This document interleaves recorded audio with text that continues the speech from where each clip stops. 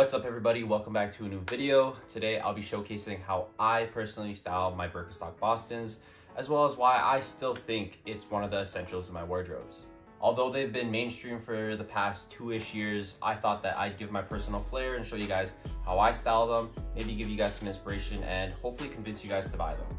I've had my personal pair for just a little under two years now and my brother also got the Mocha pair so just goes to show how versatile and essential this is for any man's wardrobe.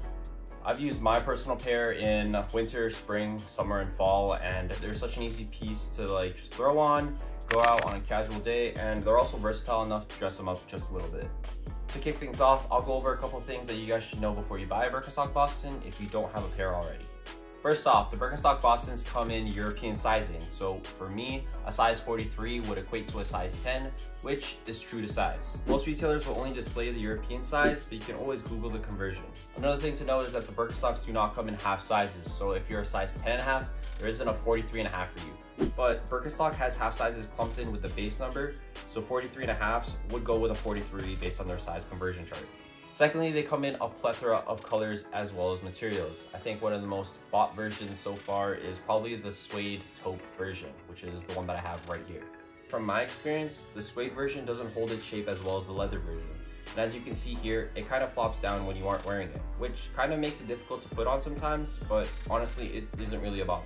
Also, depending on how you style them or even where you're from can also dictate what the best material is for you such as if you're from Seattle or British Columbia where it rains a bunch. You might want to opt for the oiled leather version where you can spray some DWR on so it's water resistant instead of going for a suede leather or even the shearling material. And speaking of wearing them, it took me a couple of wears to really break them in, but they are definitely such a comfortable shoe because they do mold to your feet. So if you're looking for a shoe that is versatile, comfortable, and honestly doesn't look half bad, these are them. Sometimes I'd have an outfit based around a different shoe and last minute opt out for my Birkenstock Bostons and they'd fit in seamlessly. And yeah, without further ado, let's get right into four outfits that I'd style with my Birkenstock Bostons. This outfit is one that I'd wear going out to the movies or a nice date. We have my Fear of God corduroy jacket paired with a white t-shirt under. For the pants, we have some Stone Island cargos, and then I throw on some shades and that's an outfit. It's a nice clean aesthetic that can definitely be replicated and the Birkenstocks give it a nice comfy vibe. But yeah, I've worn these to the beach, the gym, and to nice restaurants, so they're definitely a versatile piece for me and they're a definite recommend, especially since you have the ease of a slip-on, the comfortability of a sandal, and you don't got the toes dangling out and about. The next outfit is one where we dial it back.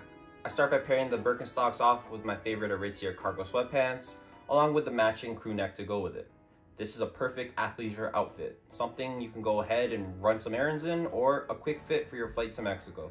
The next outfit is something that you'd probably see out in the streets or downtown. This is probably my favorite outfit out of the four. You have these nice painter pants from Dickies sitting right over the Birkenstock. I actually bought these painter pants specifically for the Birkenstock Bostons and they go hand in hand in the outfit. Match these up with this New York Yankees crew neck and that's definitely a fit you can wear in the fall. This is something that I can see myself wearing when I'm going thrift shopping or even going on a little coffee run. Just like the last outfit, I kind of like how the pants sits over the Birkenstock and kind of left up guessing whether it's a shoe or a slipper. And lastly, let's try an outfit for when we want to drop by and just grab a snack or maybe do some work on the side. For the bottoms, we have a pair of vintage Levi's and on top, we have this quarter zip from Body of Work. They're an up-and-coming brand from Toronto, Canada, where they design, knit, dye, cut, and sew all of their things locally. And they draw reference from vintage sportswear, as well as inspire people to live an active lifestyle. I think pairing the quarter zip along with the Birkenstock Bostons gives off a nice, smart, casual look and it's definitely something you can see someone wearing at the cafe when they're working on their laptop. And that's that. If you aren't convinced to buy Birkenstock Bostons now, then I don't know what else to say.